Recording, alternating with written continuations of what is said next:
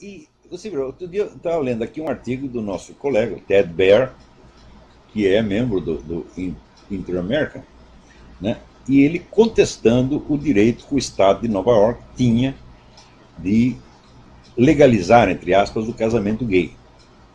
Porque ele mostra que isso fere a Constituição, não só fere a Constituição americana, como realiza né, um dos objetivos primordiais do movimento revolucionário mundial, tal como se expressa ali no capítulo 2 do Manifesto Comunista, quer dizer, a destruição da família. Então, a destruição da instituição familiar é um objetivo permanente, por assim dizer, do, do movimento revolucionário.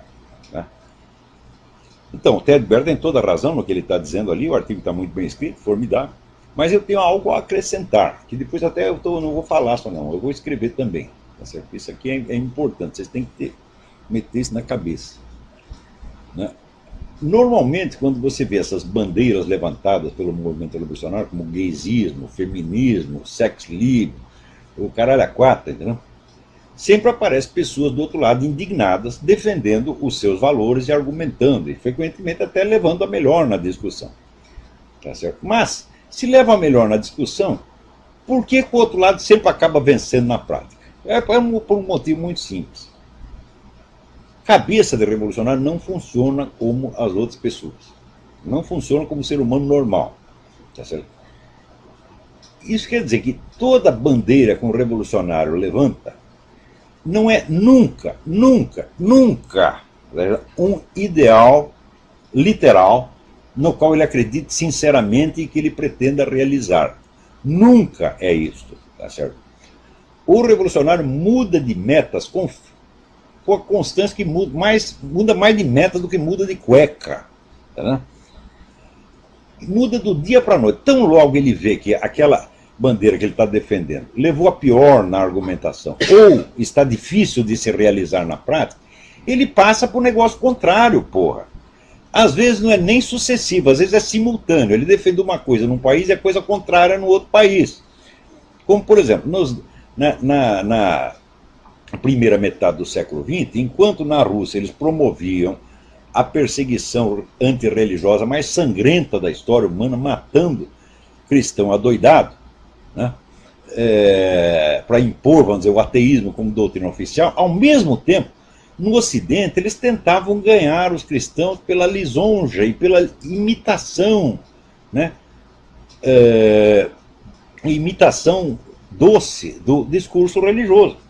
Então diziam uma coisa aqui, a coisa contrária do outro lado, conforme, conforme as conveniências de momento e de lugar, o revolucionário muda tá certo? De, de posição com uma facilidade extraordinária.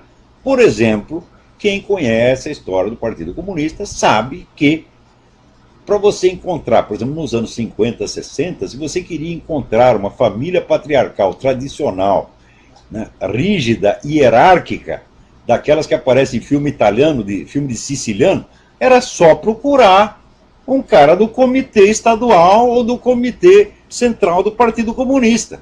Eram os pais mais autoritários, mais rígidos e mais moralistas que tinha. Né? Ao mesmo tempo, por exemplo, você falar de gay né, para aquela gente, eles odiavam, tinham, tinham, tinham um nojo. Olha, a posição do comunista perante o gaysismo você pode encontrar nas obras do famoso Dr. Wilhelm Reich, que é um apóstolo do sex livre. Ele dizia o seguinte: o homossexualismo é uma perversão criada graças à alienação capitalista e que quando viesse a sociedade socialista não teria mais viados no mundo. Né? Ele dizia, você já viu alguém se levantar contra o Dr. William Reich? Não, ninguém vai falar. Não, ele era homofóbico. Não, de jeito nenhum. É um monstro sagrado, é uma vaca sagrada do comunismo, é intocável. Então, isso vocês terem ideia de como era o moralismo comunista naquela época. Né? E, então, ao mesmo tempo que os comunistas praticavam né, essa rigidez patriarcal dentro das suas famílias e, e, dentro do partido inteiro era assim, tá certo? Eles estavam fomentando o sexo livre, gaysismo e feminino no Ocidente, porra. Então, como é que você vai levar li, literalmente a sério essas bandeiras que ele levanta e achar que você pode derrotá-los na base da simples argumentação lógica? Quer dizer, o sujeito prega a destruição da família, eu prego a manutenção da família. Eu ganho a discussão com ele pronto, está salva a família. Ora, porra, isso é muita ingenuidade, né? Veja, para você ver, tem dois pontos que é preciso lembrar para que se entenda como esse tipo de combate, vamos dizer, literal e mecânico, né, a mera oposição de ideal a ideal, não funciona. No próprio trecho que o Ted Baer cita do Manifesto Comunista, Karl Marx diz que a família burguesa será extinta automaticamente com a abolição da propriedade privada, porque ele acredita que a propriedade privada é o único fundamento objetivo da família. Não é, nós sabemos que não é, mas ele achava que é. Então ele achava que abolindo a propriedade privada, a família desapareceria espontaneamente ao longo dos séculos. Tá? Então, o importante ali era se concentrar na destruição da propriedade privada por meio, vamos dizer, de uma revolução violenta que destruísse, matasse a classe burguesa, tomasse os seus bens e pronto, daí a família ia acabar sozinha. Passados né, menos de um século, já aparece Antônio Gramsci e a escola de Frankfurt com a conversa simetricamente oposta. Por quê? Porque eles viram que destruir a propriedade privada não era tão fácil. Né? Você vê que na União Soviética sempre existiu propriedade privada ilícita e legal, mas que não dá para você exterminar, porque se exterminasse aquela propriedade privada, vinha abaixo toda a economia soviética. Então o comunismo, o socialismo, era só uma fachada. Na verdade, você tinha ali um capitalismo clandestino que alimentava o país. Então viram que liquidar a propriedade privada não era tão fácil. Né? Então o que, que fizeram esses filhas da puta, Antônio Gramsci, o pessoal da escola de Foucault? inverteu 180 graus a teoria marxista da infraestrutura e superestrutura, porque, segundo Karl Marx, a economia é a infraestrutura, ou seja, a parte real da história, e em cima tem um véu ideológico, que é a superestrutura. Então, a família seria parte da superestrutura, e a base seria a economia de propriedade privada. Então, retirando a infraestrutura, a superestrutura viria abaixo naturalmente. Era assim que achava Calmar, como destruir a propriedade privada se revelou muito mais difícil do que eles poderiam ter, esperar, e na verdade é, é impossível, é materialmente impossível a eliminação da propriedade privada. Né? Então eles decidiram inverter tudo. Ou seja, em vez de destruir a propriedade privada para daí destruir a família automaticamente, não, nós temos que destruir a família primeiro. E daí talvez cheguemos à destruição da propriedade privada. Ora, pô, o que, que você acha de uma teoria que in, inverte em 180 graus o que estava dizendo e continua dizendo que é a mesma, afirmando que é a mesma teoria? É claro que isso não é teoria nenhuma, isso é um charlatanismo oportunista do mais rasteiro, do mais vagabundo, do mais sem vergonha. Né? Então, quer dizer que a, a, agora, depois disso, o negócio piorou. Piorou, porque depois, mais teórico mais recente, Ernesto Laclau, dito pensador marxista, ele já diz o seguinte, já diz que não existe nem mesmo ideologia de classe, quer dizer, você tem uma burguesia que tem uma ideologia burguesa, um proletário que tem uma ideologia proletária, assim por diante. Não, ele diz que o discurso revolucionário, a propaganda revolucionária, cria a classe que vai apoiá-la. Hum?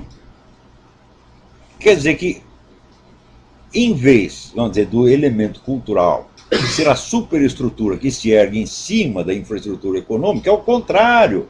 O discurso, a palavra, a cultura é o fundamento que gera a sua própria base econômica.